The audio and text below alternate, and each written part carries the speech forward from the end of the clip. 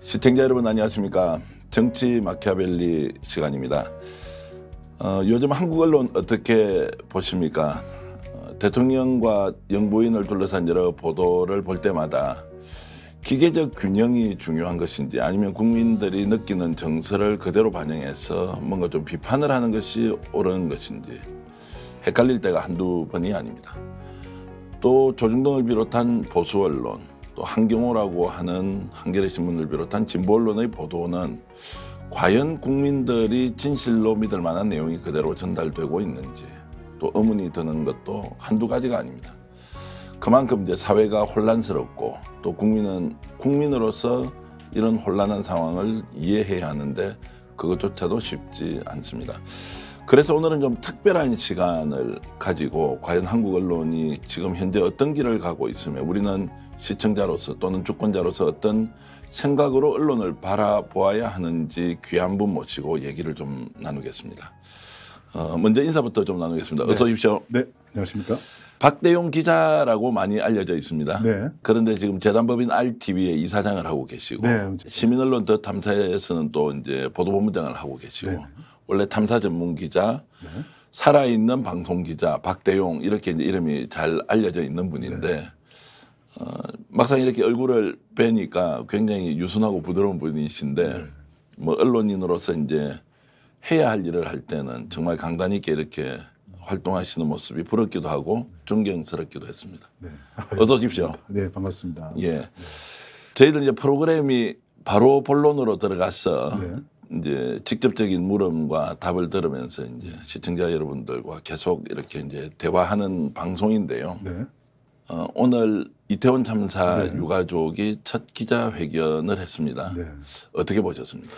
어, 제가 이제 전체 그다 보지는 못했습니다만은 어, 이태원 참사 그 유가족들은 사실 이제 참다 참다가 아마 나오셨을 거예요. 왜냐하면 저희들이 어, 이제 더 탐사에서 유족들과 어, 그동안 이제 몇 번 접촉을 하면서 그분들의 이야기를 들었을 때 어, 그 동안에는 어, 사실 가족 특히 이제 자식을 잃은 부분 부, 부모들이 많으시잖아요. 그래서 뭔가 이야기를 한다거나 사람들하고 뭔가 이렇게 정신을 갖추고 이성을 찾아서 뭔가를 설명한다거나 이런 것들이 어, 한 2, 3주 정도 불가능한 어, 그런 시간을 보내신 분들이에요.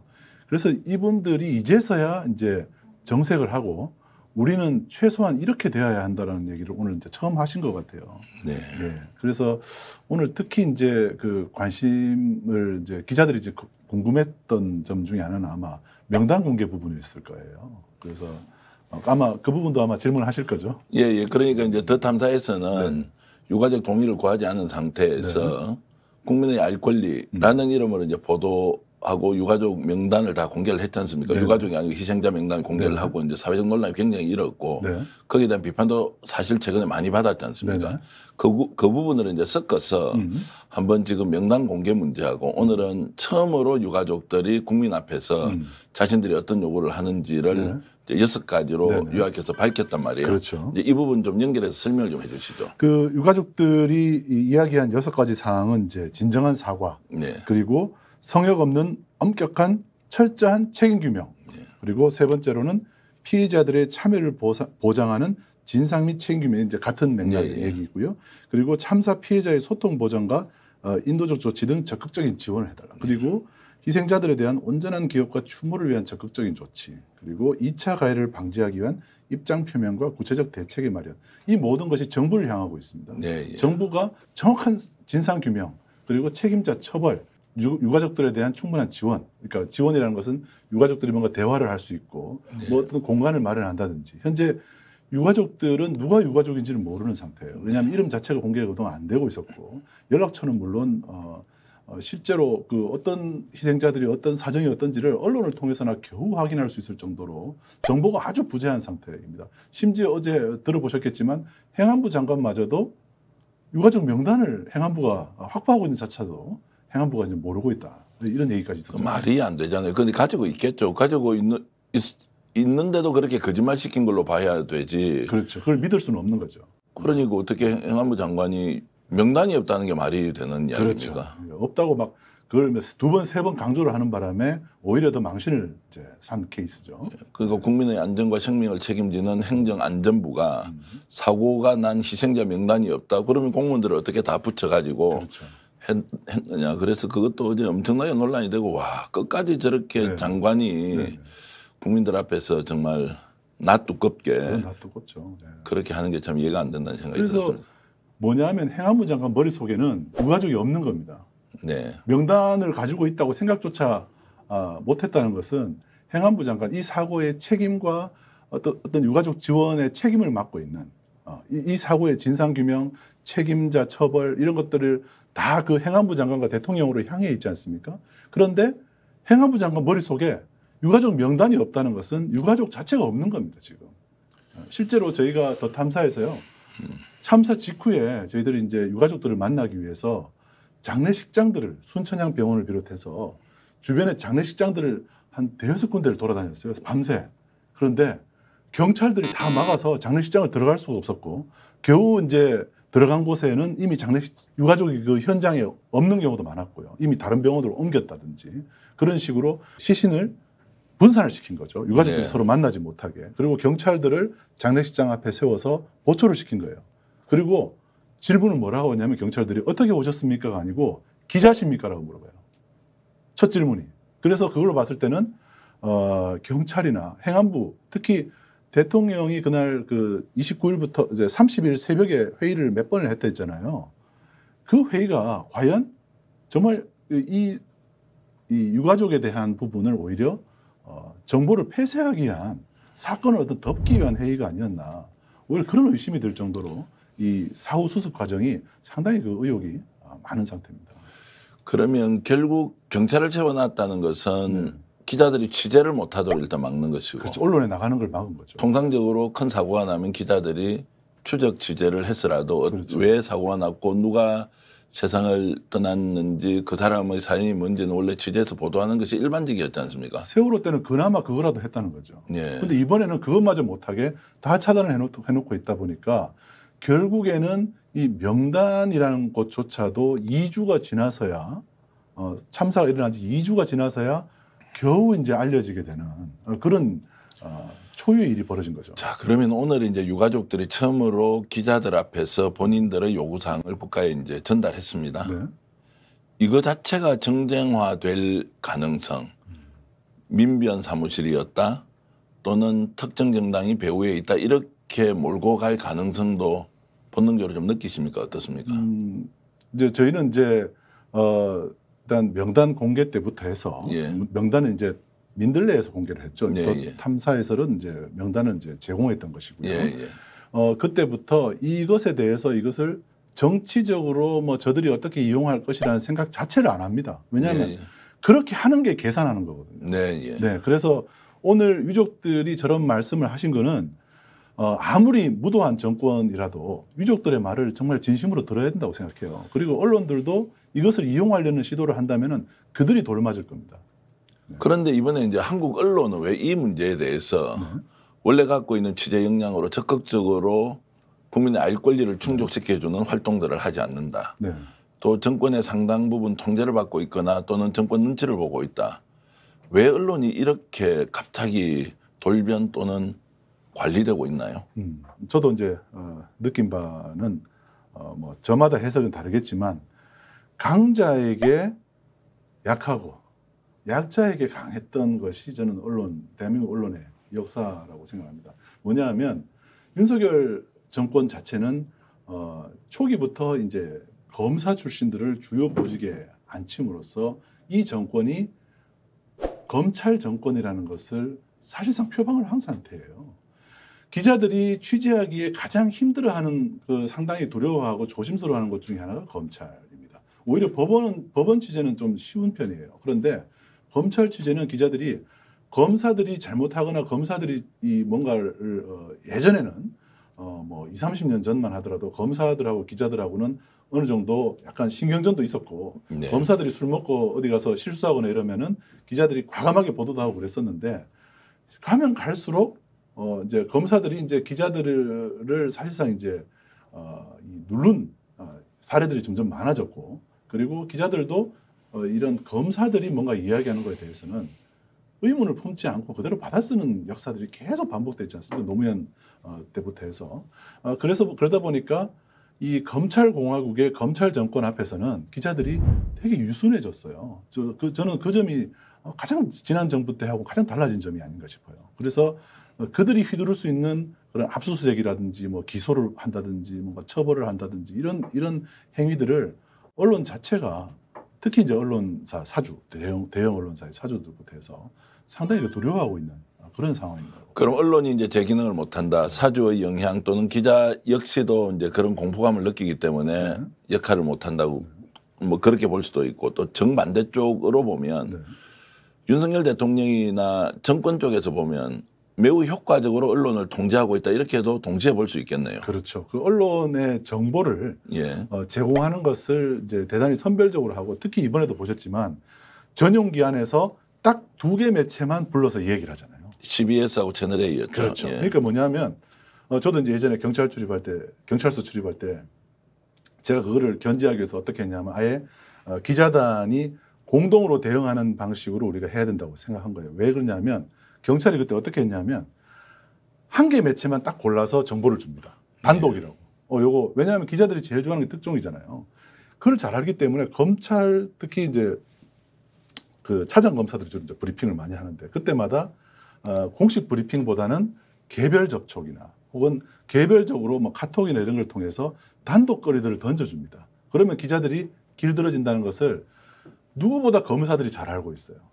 결국 이제 비사실을 가지고 선별적으로 언론한테 던져주면서 특종을 이제 일종의 선, 선물로 주고 그렇죠. 또 여론 반응은 떠보고 계속 확산할 건지 그냥 여기에서 스톱할 건지를 간보기 하는 네. 이런 특수부 검사들의 전형적인 이제 피사실 공표를 통한 언론 길들이기 네. 이런 데 매우 익숙해져 있다 이렇게. 그렇죠. 거기에 지금 길들여져 가고 있는 상태인 것 같습니다. 근데 그럼에도 불구하고 뭐 현직 기자이시기도 하고 저는 이제 전직 기자이지만 네.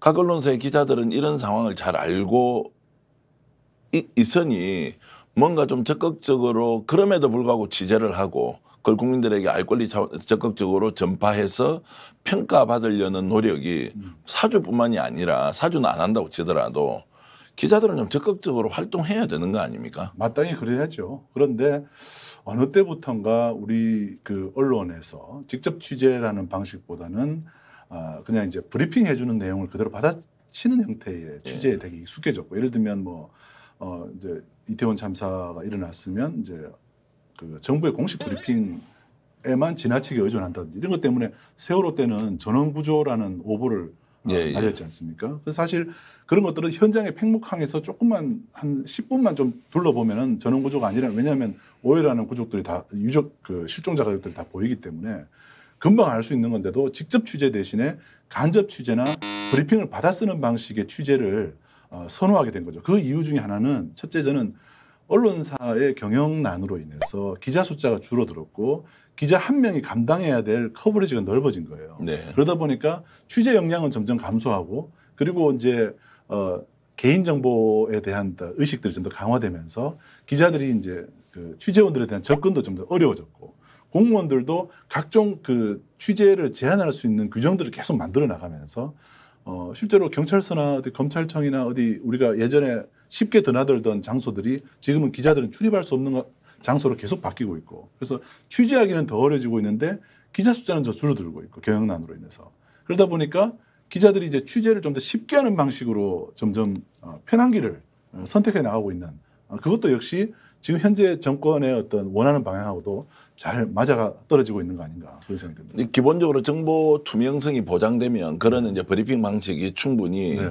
효율적으로 국민들에게 이제 정보를 전달해주는 수단으로 괜찮은데 오히려 그것이 이제 정보를 가리거나 왜곡하는데도 언론이 그대로 이제 악용되고 있다. 이렇게 일단 이해하겠습니다. 그렇죠. 정부가 발표한 것 자체를 팩트로 바라, 바라보는 자체가 문제라고 봐요. 그러니까 거기에 기본적인 의문이 좀 있어야 되는데 그렇죠. 그런 것조차 없이 질문을 하면은 거기에 대해서 예를 들면 이번에 뭐 좀 감정적으로 예. 악의적이다 이런 이런 태도를 보인다든지 이런 것들이 좀 문제라는 거죠. 지금. 제가 이제 짧은 시간 동안 인터뷰를 하면서 우리 박 기자에게 느끼는 것은 네. 사실 현장에서 사실과 진실을 굉장히 중시하고 그것을 전달해 주는 것으로 언론 역할이 정말 어, 전부일 수 있다는 이런 느낌을 제가 받았는데 그럼에도 불구하고 지금 박 기자에 대한 일반적인 시선은 좌파 기자다. 민주당이 배후에 있다. 운동권이다. 뭐 이제 이런 일종의 수식어 같은 게 네. 좋은 것일처럼 붙어 있습니다. 그런 얘기를 들을 때마다 어떤 느낌이 드시나요? 어, 일단 다른 사람이 저를 그렇게 규정하는 것은 어, 일단 정보가 충분치 않죠. 어, 충분치 네. 않은 정보로 저를 규정하는 것은 일단 어, 저는 이제 그거에 대해서는 어, 별로 뭐 대응하고 싶지도 않고요. 왜냐하면 어, 저 스스로는 기자 이상의 어떤 다른 수식어는 별로 필요 없다고 생각합니다. 그리고 어, 사실 이제 대한민국 언론 자체가 어, 우리나라 이제 보수 진보라는 큰 그 이 어떤 이념적인 카테고리 안에서 어느 정도 선택을 받기를 강요당해 왔던 것도 좀 사실이고요. 그러다 보니까 기자들도 어느 언론사에 소속돼 있냐에 따라서 자기의 어떤 그 정치적 신념이나 이런 것들도 좀 좌우되는 경향도 좀 있는 것 같아요. 기사를 어떤 쓰는 스타일이라든지 이런 것들이. 그런데 저 같은 경우는 선택의 기준을 봤을 때 이제 보수냐 진보냐 이렇게 선택하는 것이 아니고 저는 그것이 쉬운 길과 옳은 길 두 가지 중에 하나를 선택을 해야 된다면 저는 항상 옳은 길을 선택했던 것 같아요. 그 옳은 것이 무엇이냐는 제 양심이 이제 양심의 목소리죠. 그것이 옳다. 만약에 어, 희생자 세- 이태원 참사 희생자들의 가족들의 이름이 어, 공개되어야 한다라는 것이 그것이 옳은 길이라면 어, 옳은 길을 선택하는 거죠. 왜냐하면 공개를 안 하면 그게 쉬운 선택이에요. 왜냐하면 아무런 지탄도 받을 받지 않아도 되고 별로 논란에 왜냐하면 그 명단을 공개했을 때 받을 수 있는 지탄은 뭐 한 5초만 생각해봐도 알 수 있어요. 분명히 저런 식으로 그 이 할 거라는 걸 알고 있어 정도의 차이의 문제지 예상이 됩니다. 그런데 그 예상이 되는 것들을 회피하기보다는 그냥 옳다 하면 그 선택했던 것들이 지금까지 온 것이지 제가 특별히 어떤 이념적으로 예를 들면 뭐 보수와 진보할 때 북한에 대해서 어떻게 생각하냐 뭐 이런 식의 십자가 밝기 형태의 그런 질문들에 대해서는 어 전혀 그이 저 제가 생각하거나 살아왔던 과정하고는 전혀 맥락과 전혀 안 맞는 이야기인 거죠. 그런데 왜 그렇게 이제 음. 재단하면서 좌팔론이다 이렇게 몰고 갈까요? 그 저 제가 사실 그런 얘기를 실제로 들은 적은 없습니다. 저한테 지금 아? 예, 예, 직접 거죠. 시민언론 더 탐사는 네네. 뭐 특정 정당과 뭐 관계도 있는 것처럼 음. 또는 저기는 아예 보수 쪽이 아니고 진보 언론 중에서도 완전 좌파 언론이다. 네네. 그렇게 해서 오로지 윤석열 정권의 퇴진과 또는 타도를 위해서 나서는 거 아니냐라는 이제 이게 극우 유튜버 또는 뭐 네네. 보수 언론까지는 아니라 하더라도 그런 얘기를 제가 이제 여러 번 들어서 아, 그렇군요. 왜냐면 국회에서도 또 실제로 공인 국회의원들도 네. 더 탐사 저게 무슨 언론이냐 이렇게 막 네네. 비난도 하고 네. 이렇게 하지 않습니까? 네. 그래 그래서 이제 제가 질문을 드리는 건데 그런 이제 예. 소위 말하는 보수 진영에서 시민언론 더 탐사에 대한 이제 그 시선 또는 저 예당과 편견 네. 이런 부분을 현업에서 직접 뛰고 있는 기자로서 어떻게 이제 느끼시는지 전혀 일단 신경 안 쓰고요. 일단은 예. 신경 안 쓰고 왜냐하면 그 기자가 현재 자기가 갖고 있는 어.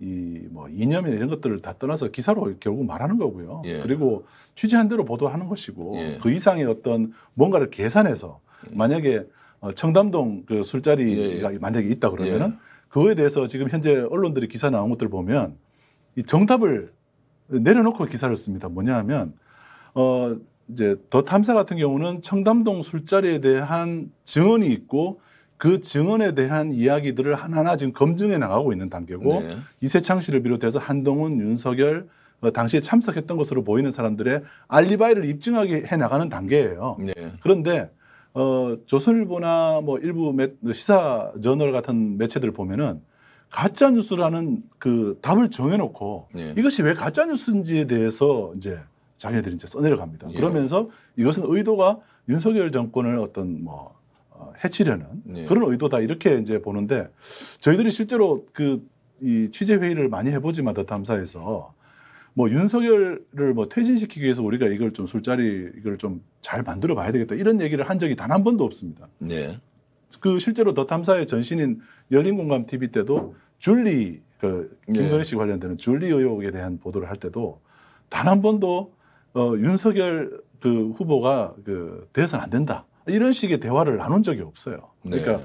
그 자체가 출발 자체가 어 이런 이야기가 있는데 어 이것이 좀더 확인해 봐야 되겠다. 왜냐하면 얼토당토한 제보도 있지만 그것이 일관되고 어떤 정황 증거들을 가지고 있고 시기적으로나 이런 것들이 어느 정도 어, 그 어떤, 어떤 것도 보도되지 않은 어떤 사실들을 가지고 제보를 해 온다면 기자가 그거를 아 이건 기계적 균형으로 봤을 때 어, 이재명 후보하고 이 윤석열 후보하고 두 균형을 맞추기 위해서 이거는 적절치 않다라고 버린다면 그 자체가 정치 행위라는 거죠. 예. 오히려 제보가 들어오면은 그 제보가 맞는지 안 맞는지를 확인하는 것 확인해서 그것이 국민의 알 권리에 해당된다면 보도한다. 오로지 그 단순한 어, 기자들의 어떤 어, 직업 윤리에 따라서 기사를 쓰고 보도하는 것이지 거기에 결과적으로 그것이 보수냐 진보냐냐 어떤 색깔로 비춰지냐의 문제는 그 나중의 문제라는 거죠.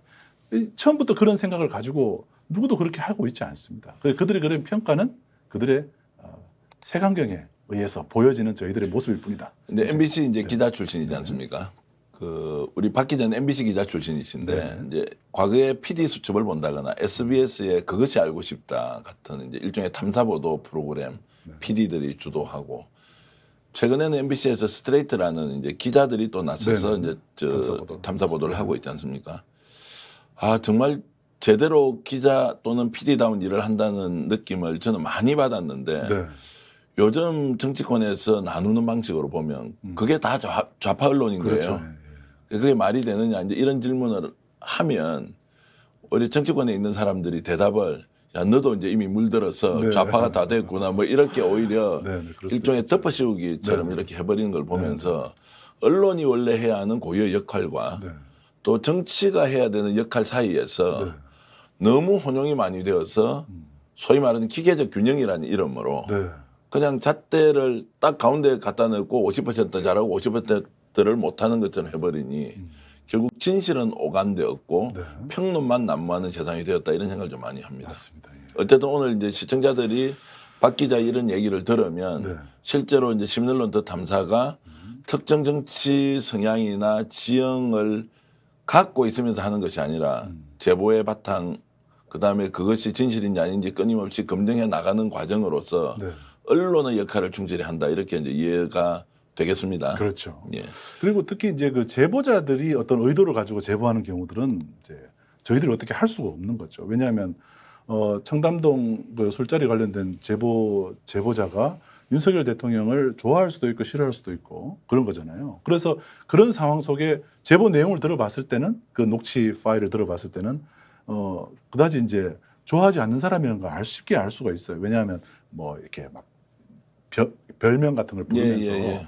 이렇게 대통령을 비하하는 발언을 하는 걸 봤을 때는 어 그럼에도 불구하고 그 술자리가 특히 이제 보도 가치가 있다고 판단했던 제일 큰 이유는 청담동에서 대통령이 술을 마시 뭐 있겠죠 술 마실 수 있겠죠 그런데 거기에 이제 변호사들 특히 이제 김현장이라는 우리나라 국내 최대의 어 거기가 로비도 많이 하는 그런 법무, 법무법인입니다. 그래서 어 그런 그 김현장 변호사들하고 같이 그 자리에 있었다라는 것은 어 좀 진실을 좀 확인 특히 이제 딴 사람도 아니고 한동훈 장관을 대동해서 그 자리에 있었다라는 것은 이건 좀 확인해 봐야 되는 거 아닌가? 이건 공적 관심사가 아닌가? 거기에 도달해서 한 것이지 만약에 어 윤석열 한동훈 장관이 둘이서 만나서 뭐 거기서 바에서 어, 칵테일을 한잔 했다. 그건 전혀 제가 볼 땐 보도 가치가 있는 있다고 생각 안 들어요. 거기에 동참했던 어, 변호사들이 김현장 변호사들이라 하니까 저희들이 관심을 갖고 본 것이죠. 그래서 거기에 질문 그 제보자의 의도나 이런 것들은 좀 두 번째 문제라는 거죠. 예, 뭐그 제보자는 뭐 어떤 의도를 가졌으니까 제보를 한 것이고 공익 제보를 한게 겁니다. 모든 네네. 것이 그런 성격을 가졌는데 그 제보 자체가 의도가 있었다 없었다는 것은 취재 윤리하고는 아무 관계가 없는 것 그렇습니다. 같고요. 예. 그거는 뭐 우리가 충분히 이제 이해할 수 있는 부분이고 네. 기본적으로 그 사건의 최종 결말은 어떻게 될 것 같습니까? 청담동 게이트. 일단 그 이제 저희가 아직 이제 보도 안 한 것들이 좀 있어요. 예, 예. 그래서 그거를 갖다가 어 사람들 자꾸 그렇게 해요. 얘기를 합니다. 어, 자 빼도 박도 못한 어떤 증거를 들이대서 저들의 어떤 입을 탁 막아버려야 되는데 계속 그렇지 못하고 조금 조금씩 보여주니까 저들이 계속 가짜 뉴스라고 하지 않냐.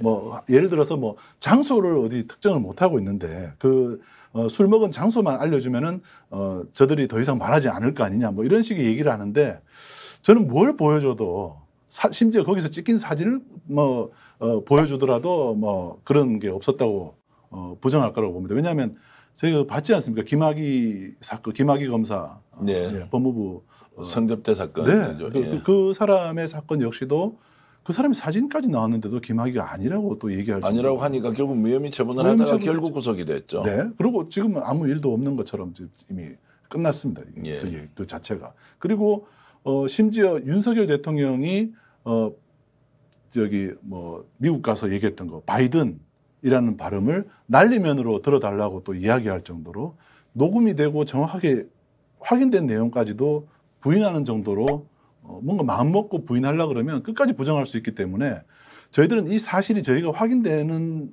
어떤 어, 진실이라 믿을 만한 상당한 이유가 있다고 보고 저희가 보도를 시작했고 그리고 앞으로 저희들이 또 몇 가지 더 추가적으로 취재 중인 내용들도 있어요. 그래서 그런 것들이 추가적으로 확인되면 보도를 하는 것이고 그것이 그날 그 자리에 있었다라는 것이 최종적으로 어떻게 결론 날지에 대해서는 어, 그건 좀더 어, 나중에 예, 역사적으로 나중에 평가될 일이라고 생각합니다. 지금 당장 저희가 정답을 다 까놓고 있었을 때 어, 윤석열, 한동훈 두 사람이 그래요, 네 미안합니다, 내가 거짓말했습니다 이렇게 얘기할 가능성 저는 없다고 봅니다. 대통령실이나 한동훈 장관이 지금 그 시민언론 더 탐사에 대해서 법적 조치를 좀 해놓은 게 없습니까? 그 청담동 게이트 관련해 가지고는 뭐 저희가 제3의 시민단체가 이미 고발은 한 걸로 했다고 그러는데 저희한테 뭐가 이렇게 통보가 오거나 연락이 온 오거나 아무것도. 없고 다만 이제 제보자에 대해서 예. 어, 어제 오늘 연속으로 경찰이 제보자의 집을 방문해서 어, 뭔가 참고 제보자를 참고인이라 부르면서 어, 오늘은 압수수색까지 했다는 얘기를 들었습니다. 그래서 어, 아마 뭐 불시에 더 탐사에 대한 어떤 뭐 강제 수사 같은 것들이 있을 수는 있다고 생각하는데 어, 뭐 그런 것들에 대해서는 저희가 뭐 특별히 뭐, 뭐 저희가 특별히 더 감추고 있거나 이런 것들이 없기 때문에 어, 뭐 걱정은 안 합니다만은 언론사를 상대로 한 그런 그 지난번에 줄리 관련된 사건에서도 어, 사무실과 어, 대표이사 자택에 대한 압수수색이 있었기 때문에 어, 이런 것들이 자꾸 흔하게 벌어지면 저희는 이제 더 탐사라는 작은 언론의 일이 아니고 이런 MBC 같은 큰 언론, YTN 같은 큰 언론에 대해서도 아무런 꺼리낌 없이 어, 그런 어떤 강제 수사 같은 것들이 흔하게 에, 벌어지지 않을까. 왜냐하면 그동안에 그렇게 그 언론사를 상대로 한 압수수색은 상당히 드문 일이었거든요. 그런데 앞으로 이런 작은 언론에 대해서 이렇게 쉽게 경찰이 강제 수사를 하는 것들을 어, 쉽게 우리 사회가 허용을 한다면 결국에는 우리나라 대다수 언론들이 경찰이나 검찰의 강제 수사나 혹은 그 공권력에 의한 어떤 입막음, 재갈 물리기에 쉽게 무릎을 꿇을 수밖에 없는 아, 그런 상황이 될까봐 아, 상당히 좀 우려스러운 상황입니다. 뭐 지금 무릎을 꿇고 있죠. 네, 제가 놀라운 거는 과거에 저희들이 기자라고 하는 것은 아무리 권력이 좀 무도하게 음, 어, 침탈을 하려고 하더라도 네, 기자 정신으로 똘똘 뭉쳐서 그렇죠. 시대적 사명, 역사의식 이런 걸 가지고 지킬 것은 지킨다고 생각했는데 요즘 언론은 그게 아니라 먼저 가서 납작 엎드리고 네, 혹시라도 뭔가 받을 게 있는가 없는가 따져보고 맞습니다. 자신들에게 손해가 되느냐 이익이 되느냐를 먼저 생각해 버리니까 네, 실제로 언론의 주인인 국민은 중심에 없고 맞습니다. 권력과 언론 사주와 언론의 생존 논리만 존재하는 이제 이런 걸 보면서 네. 저는 한편으로는 음. 아 수명을 다해가고 있다 한국 언론이 아, 예. 이런 생각이 좀 사실 들 때가 많습니다. 그렇죠. 예, 예. 그래서 아마 이제 스픽스 같은 언론도 좀 필요하고 또 더 탐사 같은 이런 신생 매체들이 어, 기성 언론들이 수명을 다해가거나 기성 언론들이 제 역할을 못한다고 판단할 때 어, 우리 시청자들이나 우리 독자들은 언제든지 새로운 선택을 할 수 있는 기회가 계속 이제 열려야 된다고 보고요. 한겨레도 그렇게 탄생한 거 아닙니까? 그리고 어 뭐 제가 뭐 더 탐사 있기 전에 몸담았던 뉴스타파 같은 매체도 역시 어 그러한 그 어, 시민들의 어떤 어, 갈구함 때문에 탄생한 것이고요. 네, 그래서 그렇게 어, 계속적으로 이런 그 신생 매체들, 그러니까 대한 언론이라고 하는 이름으로 또는 이제 지금 민들레라는 매체가 또 새로 생겼지 않습니까? 거기 거기는 이제 더 탐사와 이제 협력 관계에 있는데 그 매체는 스스로를 대항 언론이라고 부르고 있습니다. 네. 그래서 기성 언론에 대항하는 것을 어, 목적으로 만든 매체다. 이런, 매체들이 계속 나, 나오면서 시민들이 어, 선택권을 계속 어, 얻어나가는 어, 자연스럽게 역사가 그렇게 흘러나가는 거 아닌가 어, 그런 생각이 듭니다. 이제 그 말씀 들으니까 보통 이제 언론을 규정할 때 저 언론이 진보 쪽이냐 보수 쪽이냐 그래 진보 언론 보수 언론 이런 네. 게 있고요. 조금 전에 말씀하셨던 대안 언론도 있고 네. 제가 오늘 대항 언론은 처음 네, 말씀드렸는데 그 스스로 이제 그렇게 그 naming을 했더라고요. 그래서- 그 수식어를 예. 저희는 대항 대항 언론입니다. 이렇게 얘기. 스픽스 같은 경우는 이제 제가 알기로는 대항이나 대안이나 진보 언론이 아니라 네, 아예 대체하자. 네, 바꿔야 된다. 그렇죠. 이제 미디어가 원래 정보의 주인인 국민에게 음, 가공하거나 왜곡하지 않고 있는 사실을 그대로 전달하는 방식의 언론이 존재해야 하고 네. 그렇다면 그것은 진보 보수를 뛰어넘는 음. 정말 세상을 진보시킬 수 있는 원래 갖고 있는 기자 정신, 네. 그렇죠. 역사 의식 이런 게 이제 더 필요하다는. 생각으로 일단 네. 그뭐 추진되는 것으로 알고 있고요. 네, 네. 어찌됐든 이제 그런 것임에도 불구하고 음, 불구하고 시민언론 더 탐사나 박대용 기자는 음. 좌파 언론인이다. 네. 그래서 MBC의 박성재 사장이나 네. 또 MBC에 지금 일하고 있는 다수의 기자 또는 언론 종사자들이 다 좌파 언론으로 지금 몰리고 있지 않습니까? 뭐 MBC 사태는 보시면 어떻습니까? MBC는 제가 이제 있었던 곳이기도 해서 예. 어, 상당히 그 안타깝게 에, 바라보고 있습니다만은 사실 이제 이런 그 이명박 그 10년 전에 이명박 정부가 들어섰을 때도 MBC가 많은 시련을 겪었죠. 그리고 어, 또 MBC가 어떤 그 뭐 그때도 기억나시지만은 그 광우병 관련된 PD 수첩 보도 때문에 PD들이 이제 수갑을 차고 어, 연행도 되고 그, 그런 시련을 막 겪었습니다. 그래서 어떤 보도나 어떤 프로그램 때문에 MBC가 어떤 정치권으로부터 혹은 정권으로부터 탄압, 탄압을 받았던 사례는 뭐 부지기수죠. 그런데 이번 사례는 정말 마음 먹고 예를 들면 뭐 슬리퍼를 신었다 이런 것까지도 이제 트집 잡아가면서 이제 계속 이제 흠집을 내거나 이런 걸 봤을 때 아 이건 정말 악의적으로 어, 정말 뭐 대통령이 뭐 악의적이라고 MBC를 그렇게 표현했습니다만은 어, MBC에 대해서는 정말 마음 먹고 지금 어, 손보려고 어, 시작을 하는 것 같아요. 그래서 MBC 내부에서도 이 정권의 탄압이 올 것에 대해서 이 뭐 그 그뭐 저 겨울이 오고 Winter is coming이라는 심정으로 지금 이 사안에 대해서 대응하고 있는 걸로 보이고요.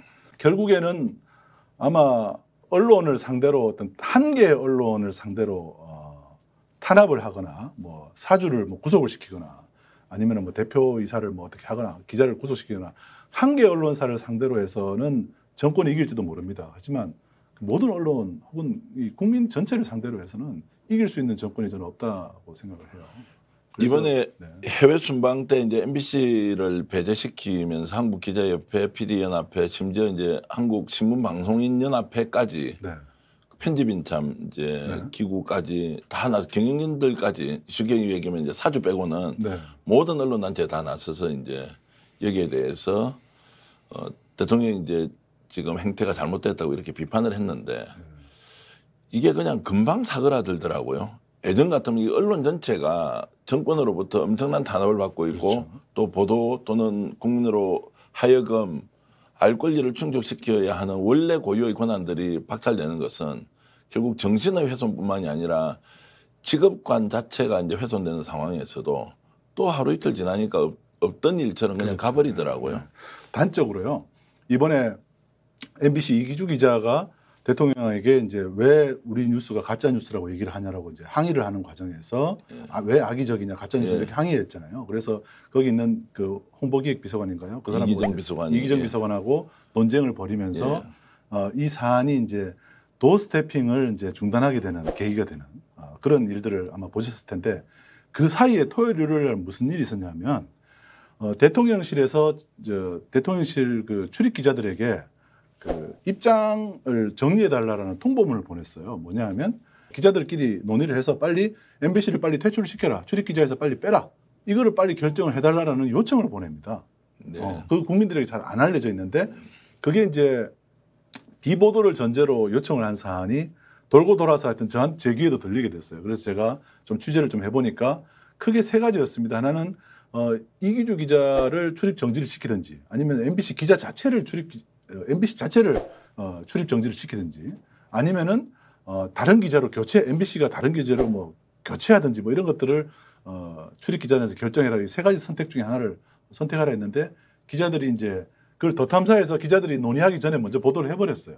그러고 나니까 기자들 출입 기자에서 어떻게 결, 결정을 하냐면 어, 그냥 아무런 입장을 내지 않겠다.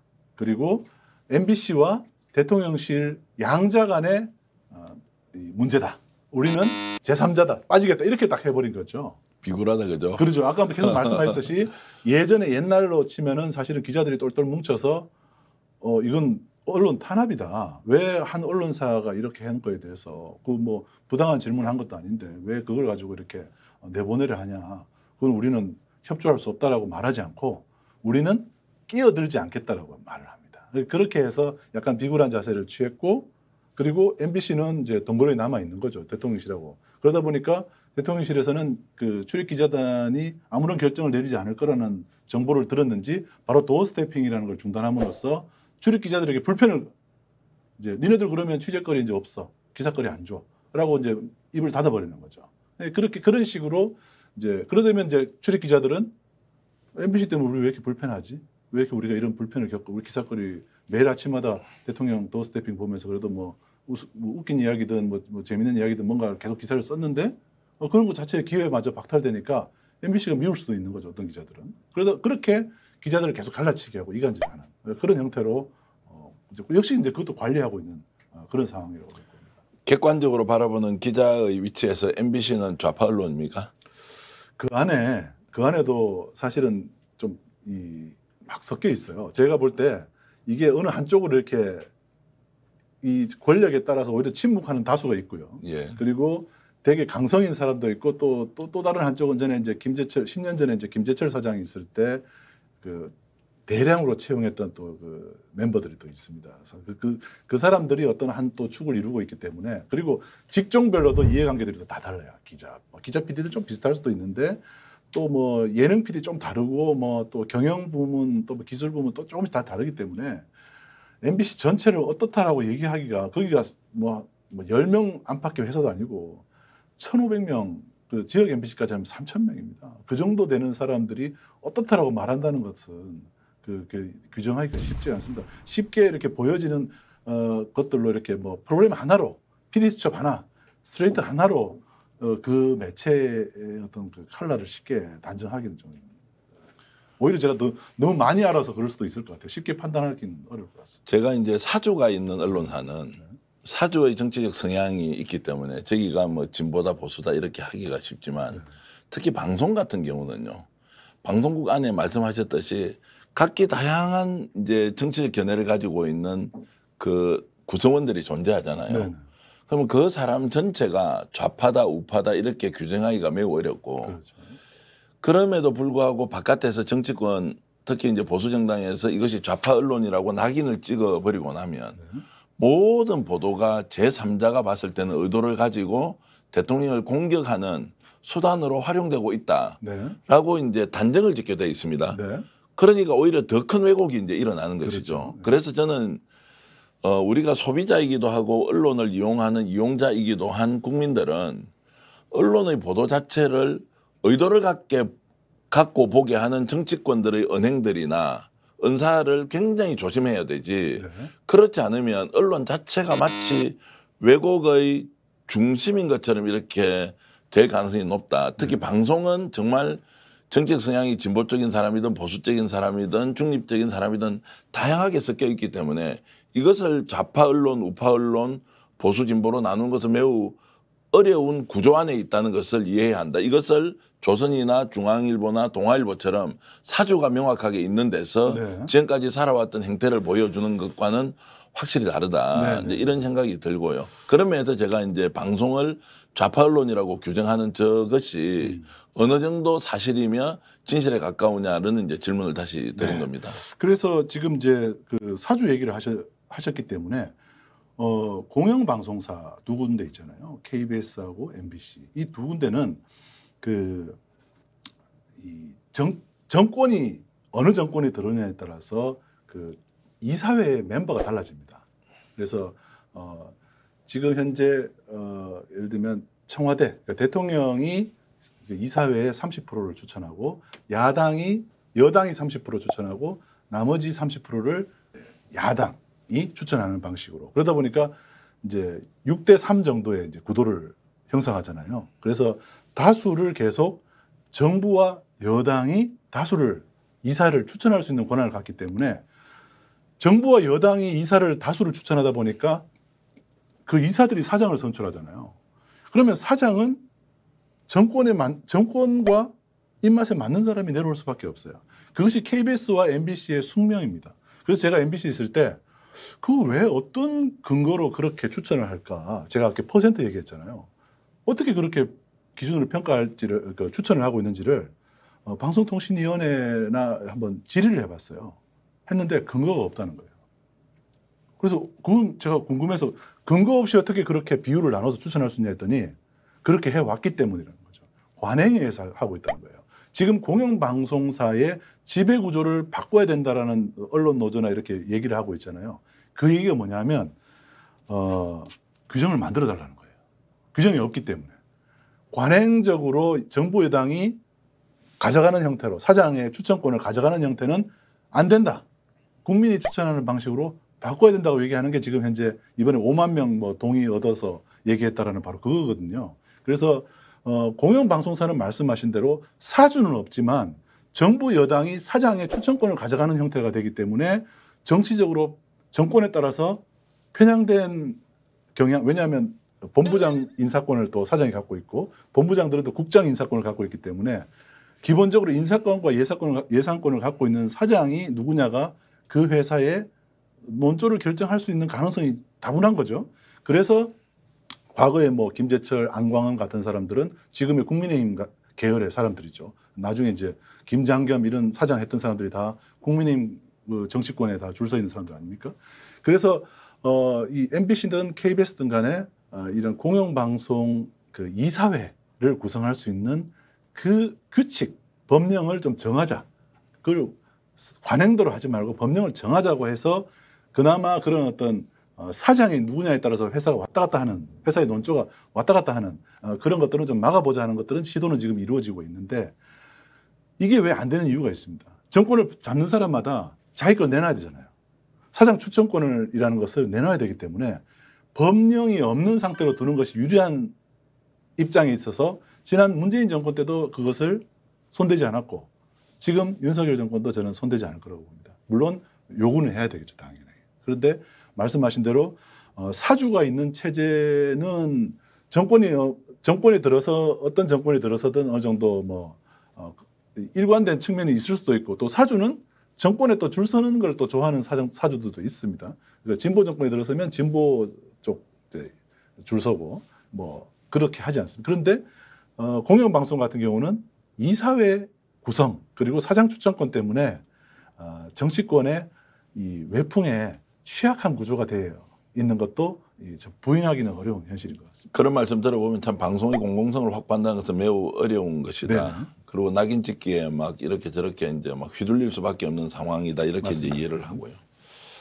그래서 이제 지금 아까 대한 언론 또는 뭐 그 대체 언론, 대항 언론 이제 이런 말씀도 하시면서 지금 더 탐사가 출발했고 네. 출발한 지 몇 개월 됐습니까? 지금 한 4, 5개월 정도 됐습니까? 더 탐사가 이제 사명을 바꾸고 예. 법인은 그대로고요. 예. 열린공감 TV 예. 법인은 그대로 있고 사명을 바꾼 지는 이제 9월에 바꿨으니까 한 두 달 정도. 두 달 됐는데 네. 거기에 지금 이미 구독자가 40만 명이 훨씬 넘었더라고요. 네, 네, 40만 넘었. 예. 이제 그렇게 폭발적으로 구독자가 늘어나는 네. 그 이제 더 탐사의 뭐 경쟁력 또는 차별성 뭐 이런 건 어떤 겁니까? 그것은 제가 이제 저도 이제 기성 언론에 있다가 이제 뉴스타파라는 것도 있어 봤고 또 여기 와서 보니까 어, 이런 급속도로 성장할 수 있는 것은 유튜브라는 매체의 성격에 잘 맞게 이런 그 취재 그 방식이라든지 그다음에 소통하는 방식이라든지 이런 것들을 그동안 잘 어, 해왔던 것 같아요. 특히 이제 그 전에 이제 뉴욕 타임스의 그 혁신 보고서라는 것들이 2000년 2010년대 초반에 상당히 크게 이제 언론계 국내 언론에서도 상당히 관심이 좀 있었지 않습니까? 혁신 보고서라는 게 그게 디지털 혁신 보고서거든요. 거기 보면은 어, 뉴욕타임즈 그, 그 말을 제가 제일 기억이 나요, 남아요. 독보적이어야 한다는 거죠. 독보적. 그러니까 다른 매체들이 절대 하지 못하는 것들을 해야지만이 그건 이제 사실 마케팅적으로도 마찬가지입니다. 그 회사든 어떤 그 기업이 성장하려면은 독보적인 어떤 뭔가를 아이템을 쥐고 있어야지 그게 이제 롱런하는 거 아니겠습니까? 어, 언론 매체도 마찬가지로 정부에서 주는 걸 받아쓰기만 한다거나 아니면은 어 그냥 이 쉽게 취재해서 보도하는 그런 어 현재 우리 기성 언론들의 어떤 그런 모습으로는 광고 나눠주는 거를 겨우 이제 받아 나와서 겨우 이제 영위할 수밖에 없는 입장인 거죠. 정부 광고나 이런 것들. 근데 어, 더 탐사 같은 경우는 회원들의 후원 회비로 거의 대부분의 수익금을 확보하고 있거든요. 어, 약 한 2만 명 정도의 회원들이 회비를 내고 있습니다. 월. 예. 그래서 제가 이제 을 봤을 때는 다른 언론들이 주지 않는 아, 취재하기 되게 어려운 이야기들을 직접 취재를 합니다. 직접 취재를 해서 이제 그 감춰져 있거나 은폐되어 있거나 아니면은 누구도 취재하기 어려운 되게 힘든 취재를 해서 그걸 이제 끌어내는 거죠. 아니면은 뭐 어, 이번에 뭐 이제 청담동 게이트라든지 또 이전에 뭐 한동훈 장관의 부동산 그 뭐 저기 주민등록법 위반 뭐 의혹이라든지 아니면 줄리 의혹 같은 경우는 정말 뭐 어, 이 장기 취재물이었고요. 그래서 그런 식으로 다른 언론들이 어떤 여러 가지 그 어, 자기네들의 어떤 어, 뭐 이런 것들 우리가 보도했을 때 어떤 영향을 미칠까 이런 것들을 걱정하는 것이 아니고 전혀 두려움 없이 바로 핵심으로 바로 훅 들어가서 어, 던지는 겁니다. 그리고 심지어 어, 저희들은 그 더 탐사는 취재 현장에 나가는 시간 차 안에 있잖아요. 그 시간에도 유튜브를 켜놓고 취재 현장에 나가고 있는 상황까지도 중계를 합니다. 그거를 제가 처음 하는 걸 봤을 때 이걸 왜 할까 싶었는데 가는 동안 그 유튜브를 보는 분들이 우리도 취재 나가는 것 같은 거예요. 같이 취재를 나가는 기분이 드는 거예요. 같이 뭐, 어, 저 질문하는 것도 이렇게 옆에 있는 사람이 보면서 이런 거 물어보는데 우리가 사실은 이게 우리가 오늘 가는 거는 뭐에 관한 것이고 자세한 거는 나중에 방송을 보라 이렇게 얘기하면서 시민들하고 계속 호흡을 같이 해요.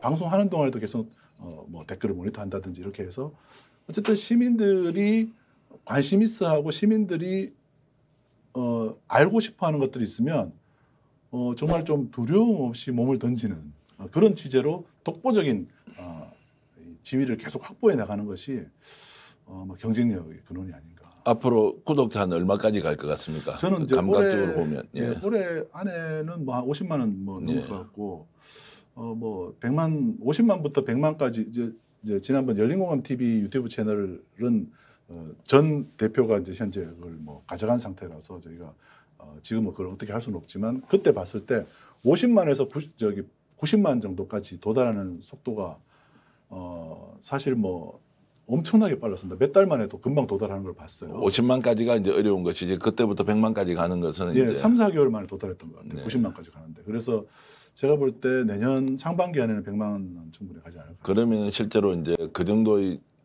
구독자와 취재 역량, 독보성을 가지고 있으면 이제 기성 언론과 비교하더라도 네. 뭐 규모는 좀 작다 하더라도 콘텐츠의 경쟁력 면에서는 아주 출중한 이제 위치에 올라갈 것이다 이렇게 보고 계신 거죠. 네, 제가 보니, 봤을 때 규모는 그렇게 중요하지 않은 것 같고 네. 한 10명 정도의 구성원이면 충분히 이 정도의 에, 취재는 할 수 있다고 생각하고 또 어, 앞으로 저희가 이제 보도 예정된 것들이 있어요. 이런 것들이 아마 이제 제가 이렇게 얘기하는 이제 근거가 될 것입니다. 앞으로 왜 제가 이렇게 얘기를 하는지 앞으로 뭐 청담동 게이트 같은 경우는 뭐, 아니, 뭐 일부에 불과하고 앞으로 저희가 오늘 당장에 보도할 내용들도 아마 또 상당히 오랜 기간 어, 회자될 만한 내용들이 있고요. 그래서 근데 이게 어, 선순환이 있는 것 같아요. 제보가 들어온 것들을 잘 보도를 하면은 제보자가 다른 제보자한테 소개를 해준 경우도 있고 또 저 언론사들은 두려움 없이 보도한다. 어떠한 게이트키핑이나 이런 그 장애물 없이 어, 과감하고 용기 있게 보도한다라는 소문이 나면 어떻게든지 소문이 나, 그 제보자가 연결돼 딥스로트라고 그러죠. 그게 이번에도 보니까 기성 언론에 먼저 제보를 1차 제보를 합니다. 그러고 난 뒤에 기성 언론이 그걸 못 받아요. 그러면 이제 또 다른 언론에 갔다가 또 오는 경우 이렇게 한 두 번 세 번 거쳐서 오는데 결국에는 더 탐사가 그걸 보도를 해낸단 말이에요. 그렇게 하다 보니까 계속 제보가 이어지는 거죠. 예, 그래서 아예 뭐 이런 내용들을 잘 알고 있는 뭐 제보자 X 같은 분 같은 경우는 이제 뭐 도이치모터스부터 해서 쭉 이제 제보를 어, 많이 했던 분 아닙니까? 이런 분들이 이제 더 탐사에 자기가 그 동안에 알고 있던 내용들을 지속적으로 제공한다든지 뭐 이런 것들하고도 연결도 되고 그래서 어, 앞으로 저희들이 보도할 내용들은 아마 어, 그 동안에 보도해왔던 것들을 능가할 만한 어, 그런 내용들이 많이 있습니다. 제가 이제 이런 말씀을 들으니 네. 어, 기자 출신이다 보니까 저도 그 동료들 선후배들 한 번씩 만나면 이제 끝났다 우리는 기성 legacy 미디어는 끝났다. 네. 그런데 어, 먹고 살아야 하니까 어쩔 수 없이 저렇게 뭐 굴종적인 삶을 사는데 점점점 이제 이런 이야기들을 합니다.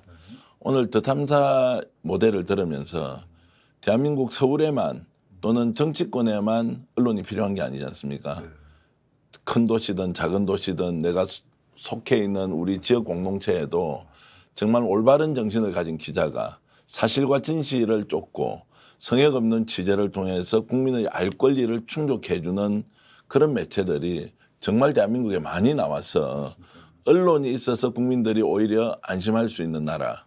언론이 정치 권력과 자본으로부터 좀 자유롭게 움직이면서 국민의 편에 서는 것은 네. 시민언론 더 탐사의 모델이 새로운 기자들에게 좀 자극이 되어서 네. 전국 어디서나 이런 언론이 탄생하면 충분히 시민을 믿고 가더라도 살아남을 수 있다는 이런 꼭 좋은 네. 케이스를 만들어 주시기를 바라겠습니다. 네. 네.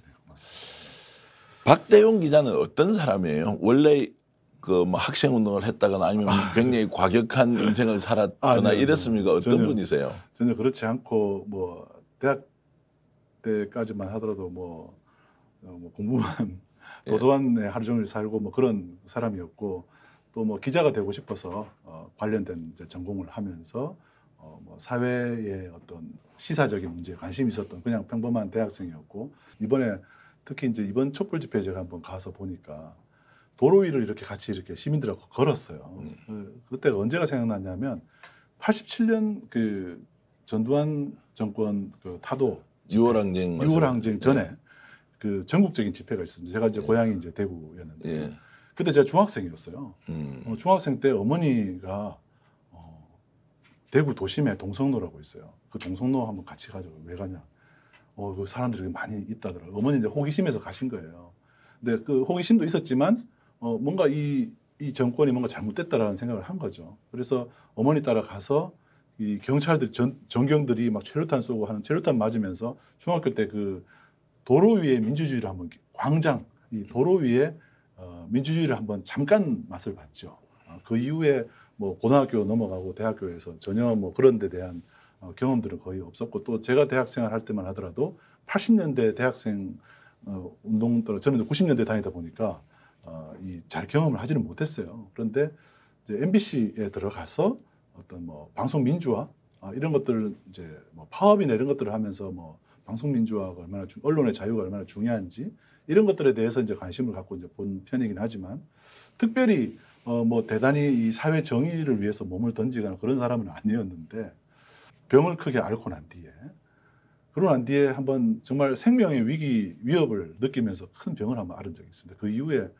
아 제가 지금 다시 태어났다라는 그러니까 덤으로 얻은 어, 생명, 덤으로 인생이다. 얻은 인생이다라는 예. 생각을 해서 그 다음부터는 좀 어, 이게 그냥 조심조심하게 사는 인생보다는 오히려 과감하고 어, 내가 좀 옳다 싶은 것들은 그냥 몸을 던지자 이런 마음으로 좀 약간 종교적인 신념도 있었고 아, 그렇게 이제 살다 보니까 탐사 보도라는 것을 알게 됐고 탐사 보도라는 것을 알게 되다 보니까 또 이 국내 그러니까 이 기성 언론들이 그 동안에 취재하고 보도하지 않는 내용들이 너무 많은 거죠. 네. 그래서 왜냐하면 탐사 보도라는 것은 겉으로 드러나지 않은 걸 취재하는 게 아니거든요. 다 수심 뭐 100m, 200m 물 속에 들어가서 예를 들면 수, 수, 스쿠버 다이버나 마찬가지인 그런 취재를 하는 것이기 때문에 그걸 하면서 좀 더 필요하다고 느꼈고 탐사보도 또 하는 사람들이 또 흔하지는 않지만 그런 사람들과 서로 연결되어 만나면서 뉴스타파라는 것도 만들어보고 또 뉴스타파를 하다 보니까 어, 이 뉴스타파가 보도했던 것들이 또 저한테 또 영향을 또 미치는 거죠.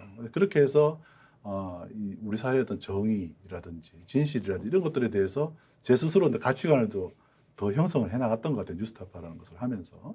예, 그래서 지금 이제 제가 뭐 RTV에 있는 것도 그렇고 또 더 담사에 있는 것도 그렇고 어, 제가 그동안에 이제 살아오면서 어, 몇 번의 어떤 경험들, 그 결정적 계기들을 통해서 제가 어, 경험하고 느낀 것들을 실천하며 살아, 살아 야 되겠다. 그 정도가 제가 생각하는 겁니다. 어쨌든 기자이고 탐사보도 전문 기자로서 계속 이렇게 이제 활동을 하실 거고 RTV 저도 이제 들어가서 보니까 정말 열심히 만드시고 저도 이제 구독을 눌러서 RTV 열심히 보고 있습니다. 네. 근데 RTV는 재단법인이기 때문에 특정 개인의 소유가 아니고 그렇습니다.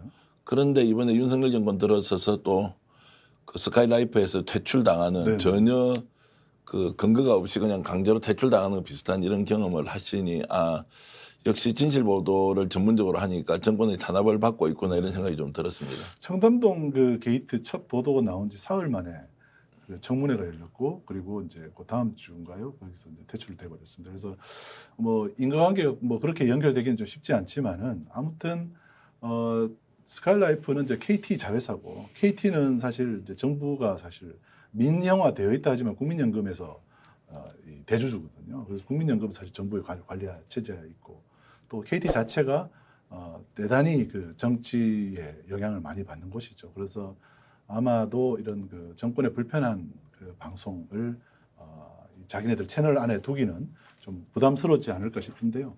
저희들은 오히려 이게 굴하지 않고 스카이라이프를 상대로는 계속 저항을 할 테고 왜냐하면 부당하다고 결정하기 생각했기 때문에 왜냐하면 어, 그 장르가 있습니다. 이 장르별로 이렇게 카테고리별로 있는데 카테고리 내에서 컨텐츠 경쟁력 1등이라고 스카이라이프가 평가를 해준 거예요. 근데 1등이라 해놓고 이제 쫓아내는 거는 좀 이상하잖아요. 그래서 그 부분에 대해서는 저희가 법적으로라도 좀 항의를 해볼 예정이고 또 어제 저희가 발표를 했습니다마는 TV 스마트 TV에서 RTV 앱만 설치하면 바로 RTV를 볼 수 있도록 예. OTT 같은 형태로 음. 저희가 서비스도 지금 하고 있어요. 그래서 그건 어디에 있습니까? 플레이 플레이스토어, 플레이스토어에 구글 플레이스토어, 그 안드로이드 OS가 설치되어 있는 TV나 아니면은 뭐 샤오미라든지 크롬캐스트 같은 그 도구를 쓰면은 바로 그 구글 플레이스토어에서 RTV 앱을 설치하면 RTV를 바로 볼 수 있어요. 넷플릭스나 유튜브 보시듯이 보실 수가 있는 거죠. 어쨌든 RTV에서는 지금 이제 박대훈 기자가 이사장을 하고 계시니까 네. 반드시 성공을 시켜서 네. 국민들에게 좀 더 알 권리를 이렇게 확장시켜주는 역할을 하시길 진심으로 바라겠습니다. 네. 어, 이제 10년 뒤에도 이렇게 기자 계속하고 계십니까? 아, 그 이렇게 먼 미래를 보고 살 만큼 제가 그렇게 예. 생각은 못 하겠고요. 10년 전을 돌아서 생각해 보면은 10년 뒤에 제 모습을 전혀 가늠할 수 없, 없었고요. 예. 어, 사실 뭐 내일도 어떻게 될지 모르기 때문에 뭐 오늘 하루하루 충실하게 사는 것 이상으로는 저에게는 뭐 다른 신념은 없습니다. 그래서 10년 뒤를 어, 제가 뭘 하고 있을지 혹은 그런 것까지도 제가 계산을 하고 이렇게 딱 멀리 바라보면서 살 만큼 아, 요즘은 집에 가면 자기 바쁘고 집은 딱 잠 외에는 아무것도 할 수 없고 일어나면 바로 뛰어나오고 매- 그거에 계속 연속이기 때문에 아, 토요일마저도 그런 생각을 할 여유가 전혀 없더라고요. 제가 오늘 인터뷰를 하면서 제 스스로 잘못 살고 있구나. 박대훈 기자 같은 정말 열정과 신심으로 언론인의 길을 가고 계신 분도 있는데 우리는 정말 부끄럽게 살았구나 이런 아유, 생각을 하면서 예. 건강 잘 지키시고 네네. 또 우리 사회의 빛과 소금이 되어서 세상을 더욱더 이롭게 하는 그런 기자가 되길 진심으로 바라면서 하시는 일마다 건승하시길 또한 또 바라겠습니다. 네. 오늘 긴 시간 인터뷰 고맙습니다. 네, 고맙습니다. 시청자 여러분 어떻게 보셨습니까? 오늘 박대훈 기자를 통해서 살아있는 기자가 여전히 우리 곁에 있다. 또 이런 기자를 통해서 한국은 죽지 않았고 진실을 향한 언론인의 활동은 계속 이어질 것이라는 확신을 갖게 됐습니다. 여러분들 조금 힘, 힘들고 어렵겠지만 그래도 대한민국은 국민이 만든 것이고 주권자의 결정에 의해서 움직이는 나라임을 한 번 더 생각하면서 어, 남은 저녁 시간 행복하게 보내시길 바라겠습니다. 시청자 여러분 고맙습니다.